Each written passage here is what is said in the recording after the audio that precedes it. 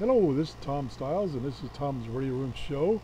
And I'm really excited about what's in this little box right here. Actually, it's behind the box, but anyway, um, I just got this yesterday from a friend of mine, longtime friend of mine, who um, we were talking or chatting or emailing back and forth about radios and stuff like that. And uh, he said, hey, I have this SDR that I was getting a little frustrated with because I'm running Windows 10 now and uh, getting the drivers to work uh, getting a little frustrated. And I can understand that. I know even with Windows 7 when it tries to do a update it will overwrite the drivers for these SDR dongles. So he sent me this and it's the FiFi SDR version 2.0. It's made by and I don't know how you pronounce this. You don't pronounce it the way it shows. It's a German company. Actually, it's a German magazine. FUNK Amateur is a German magazine similar to the American QST magazine. And they started a project back in 2010 uh, for training for for young kids to, about radio. And they came up with this design and put on a little course and everything. That's my understanding. And then in 2013, QST, the American magazine, did a review of this thing and it became really popular. And thinking back to 2013, that's kind of when this ASDR idea started to explode. So let me show you the actual device itself. Here it is right here. You can see it's pretty small. It's, uh, let me see if I can use my mat here. It's mm, three and a half inches by two inches. That's how big it is. Very similar in size to the other radio, SDR, that I reviewed a couple of shows ago. It, it comes as a kit. Now when I say kit, it's, you don't have to build from scratch. It has two PC boards. There are a few components to add to this PC boards, such as the connectors and some other components, and then mate the two boards together and then and stick them inside this enclosure. So it's not too difficult to put together uh, my friend had already done that, so I didn't have to do that. Thanks good, thank goodness. So here it is. On this end is the antenna connector. It has only one antenna connector. It has a standard BNC connector. So pretty easy to hook to all my radios, I mean my antennas. On this side, this is the mini or micro USB port to connect to your computer. This is a reset button. Use this when you want to update the firmware in um, the radio itself. It's on board the radio itself.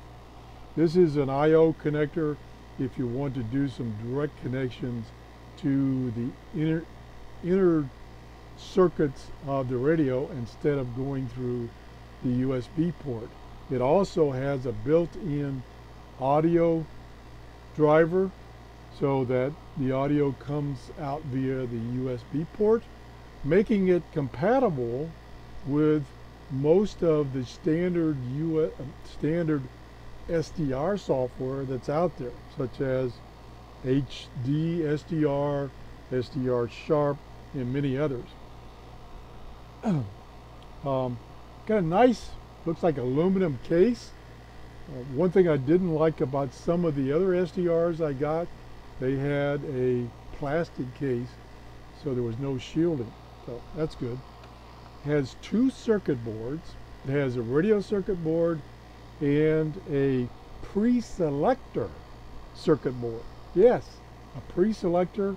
Uh, I'll show you in the future some pictures of the two boards and it looks like that pre-selector is fairly complicated, so it should do a pretty good job of preventing spurious other frequencies coming in. Because if you remember one of my other reviews of one of these devices, it suffered from medium, strong medium wave signals coming into the uh, HF band and interfering.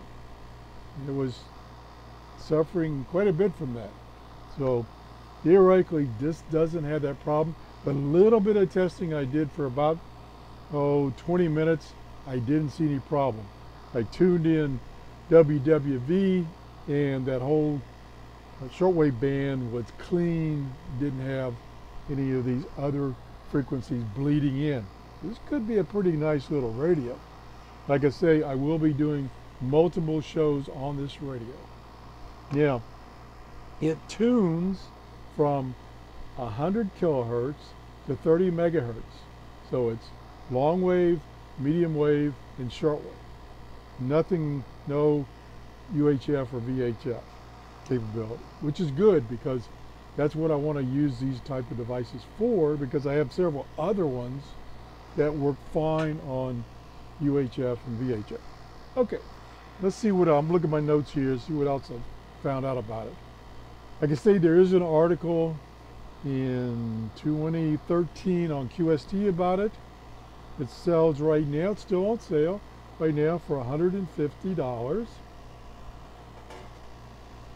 It, uh, okay, I, I gave you the bands that it works on.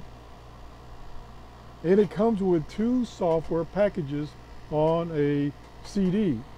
One of them is the original software with, that was developed with it, which is mainly software to manually control the, the radio and some and it's a it's a, got a graphical interface so it's it has a lot of little features that you could use if you're doing experimentation also comes with software from Bonito, and maybe I pronounced that wrong, B-O-N-I-T-O.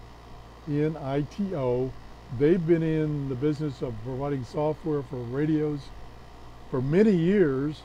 I, uh, I got a software package from them for one of my scanner radios that has a uh, computer interface and it's fantastic. Matter of fact, gets a little overwhelming because it's got so many features but it really works nice. And this morning I tried the software they provided with this, which came with it free. Also, you can download it free, but if they provide no support for it. So that's why it's free. Typically, their software runs about 100 or 100, 200 dollars, maybe even higher. So, in their software, it's always got lots of features, lots of detail, works fantastic. So I'm really excited about AB being able to use their software with this receiver. It was specifically done, this, this version was specifically designed for this eh, FiFi SDR. Okay, so that's that. I think I've covered about everything.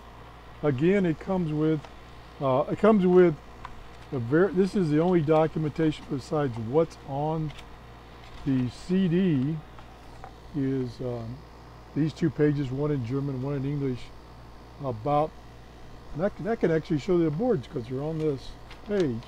Here are, well, they only show you one board. This is the, whoops, this is the receiver board. Let me see if I can zoom in a little bit. Okay, this is the receiver board. And then there's another board which they do not show, which is the pre-selector board, which is almost the same size. so there's a lot of electronics here, a lot of design work went into this. Okay, so this is the documentation that comes with it, besides the documentation, excuse me, that is on a CD. Unfortunately, I spent about 30 minutes scanning the internet and I could not find any documentation for this Bonito, or however you pronounce it, B-O-N-I-T-O software. I couldn't find any documentation for it. it. It might be out there, I just couldn't find it. If anybody knows where I can get it or has it, they can send it to me. I really like it because when I look at that program, it has so many options that in order to use it properly, you really need some documentation. So if anybody has any of that um, documentation, let me see if I can, hold on one second. No, I'll try to find the, see if I had, uh, yeah, here it is. The name of the Bonito software for this radio is called Radio Jet. Radio Jet. And um, if you know where I can find some documentation, I'd appreciate it. Like I say, I, I looked for about a half an hour for any kind of documentation of actually how to use that software and I did not find it. So anyway, I'm really excited about this and uh, we'll be doing some shows in the near future showing this thing operational and showing the software that I'm talking about here. And I'm, I'm excited. And thanks to uh, my friend for sending me this. Uh, I can say before he sent me this I had never heard of this although it is quite popular. That's the show for today. If you enjoyed the show please give me a thumbs up. Thanks for watching have a great day. Bye bye